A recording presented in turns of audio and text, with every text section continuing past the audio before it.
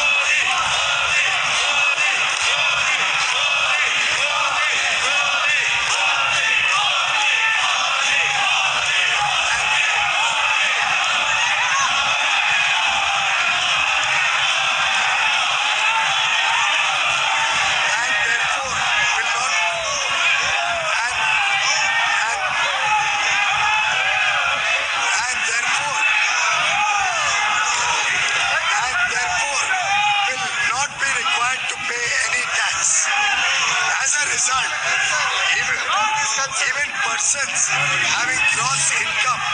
up to rupees 6.5 lakhs may not be required to pay any income tax if they make investments